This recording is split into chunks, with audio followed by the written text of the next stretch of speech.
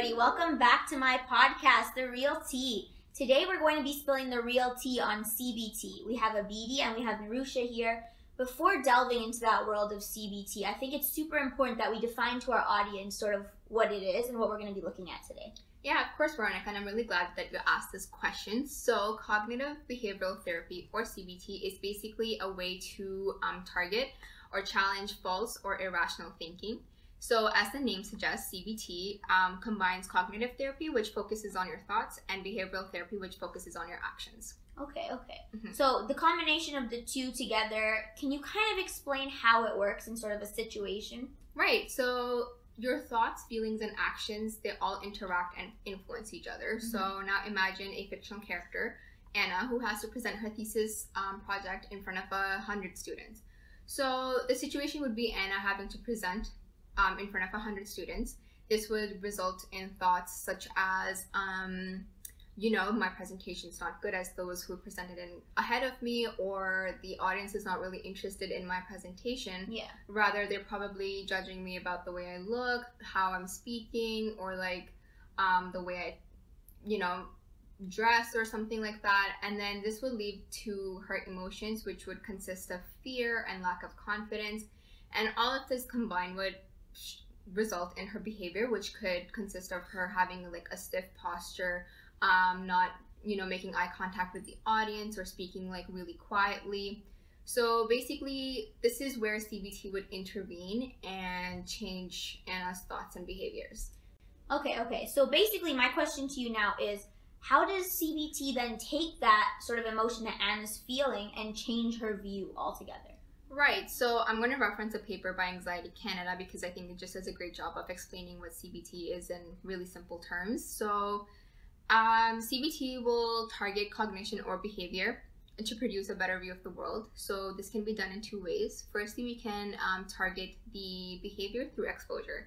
So going back to the Anna example, Anna could, you know, start off by presenting in front of a smaller group and then gradually increase um, the number of audience. So this would kind of help um, get rid of that fear and anxiety about presenting in front of a large group of audience. And then another thing that we can do is target the thoughts by making rationalizations.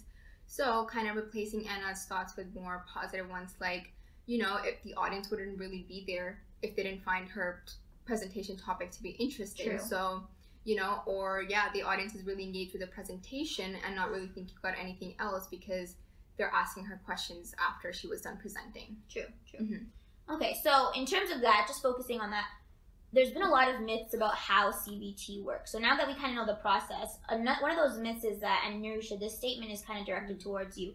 Can you comment on the fact that people say CBT only changes thoughts but not behaviors? This is actually correct, Veronica. CBT actually addresses your thinking, emotions, behaviors, and physiological symptoms. Like CBT uh, starts by addressing your present problems and it helps um, clients gain an understanding of a more effective plan more suitable for them.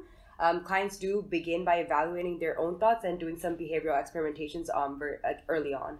Oh, okay, yeah. okay. So, kind of for our audience, we mm-hmm. wanted to take a look at sort of what a CBT session looks like if they mm-hmm. were to go and try to, you know, have that form of therapy or explore that form of therapy. Right. So when a client initially goes in for their consultation with the therapist, it's the um, initial assessment that is done.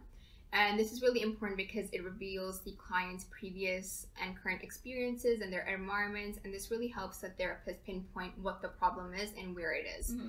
And following this, then the therapist and client work together um, to establish an agenda, discuss homework, review progress um, since last um, session and discuss specific problems that may have you know arise through, during the last week or and build strategies to address that problem okay, okay. Mm-hmm. yeah and each uh, cbt session is um is about like 50 minutes and it consists about 12 to 16 sessions and the, the since the sessions are more um, client client centered the client is an active uh, participant um, however, the therapist does regularly monitor like the treatment sessions, like seeing the clients' pro- progress throughout. Okay, yeah. okay. So I'm like getting the sense that you know you do have the opportunity to discuss some of your problems. So the last question I have for you today, and it's based on the fact that my audience here are mostly university students.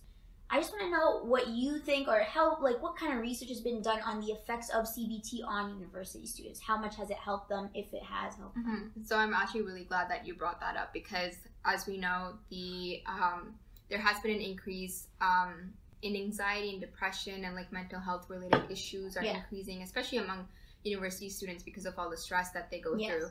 And I think that CBT is really useful in treating the symptoms um, of these conditions. Yeah, and we do also encourage students to reach out and like find resources at their universities. And students at McMaster University are are encouraged um, to visit the uh, Student Wellness Center.